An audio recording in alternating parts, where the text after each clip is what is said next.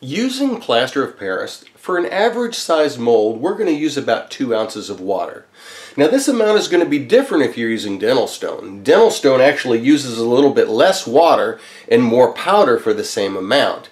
Uh, but for plaster of Paris, two ounces of water will fill up an average size mold. Now all the molds are different, so if you've got something like the pyramid mold, it's going to take a little bit more than that. So let's start with two ounces of water. We're going to get our measuring cup here. And what we're going to do is we're going to nest a clean cup inside of that. And we're going to pour in two ounces of water. And what I'm going to do is mix this by eye so you can see what it looks like when you mix it by eye. And then we'll compare it to the amount that's actually uh, there after we add the powder to it. So we have two ounces of water in this cup. So I'm going to go ahead and set that aside and we're going to start sprinkling this powder into the cup. Now let's see if I can get a uh, kind of a close-up view. Um, let's just start right here. Okay, let's start sprinkling the powder in. And what you want to do is just sprinkle a little bit of powder in and let it dissolve down in. Sprinkle a little more, let it dissolve down in. And try not to get in a hurry. What I do sometimes is I spin the cup around because you'll have one area that uh, has got uh, standing water and that's the area you want to dump the plaster into.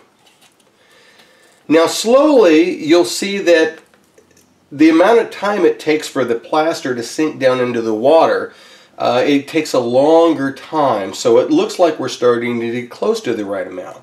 Now we still have a lot of clear lake of water around the outside so it looks to me like we need to uh, add more powder to this. So we're getting close, we're getting close. Okay now what we've got right now are some islands of powder uh, and we have a little bit kind of a clear lake of water and if you look closely you'll see that the water is slowly seeping up in there. Let's see if I can kind of get a, uh, a close-up view of that there. You'll see that the uh, plaster is slowly, uh, uh, it's kind of like the texture of uh, wet clay there. It's seeping up and seeping up that's just right about the right amount if we're mixing by eye. We've got an island on top. We don't have much, uh, much of a lake of water around. In fact, if we pour this, it looks like we're just about there. I would probably add just a touch more powder to it just because I like mine just to be a little bit thicker. But let's see how what we've got ounce-wise. Ounce-wise, it looks like for two ounces, we're almost up to the four ounce uh, mark, but not quite. We're kind of like with three and a half. We're kind of like at three and a half. So what I'm going to do is I'm going to finish off by just adding just a, a little more powder to that outside edge of water. Not much. Just a light sprinkle. And to me, that right there is going to be just about the perfect amount. So what I'm going to do is take the spoon and I'm going to go ahead and mix this up. Now this should mix up kind of like uh, a thin milkshake. Uh, if it's a really thick milkshake that would be hard to pull through a straw, then you probably won't be able to get it into the mold.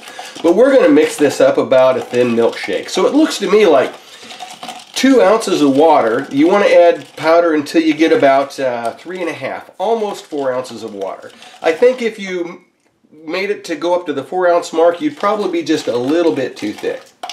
Okay, we're ready to pour this into the mold.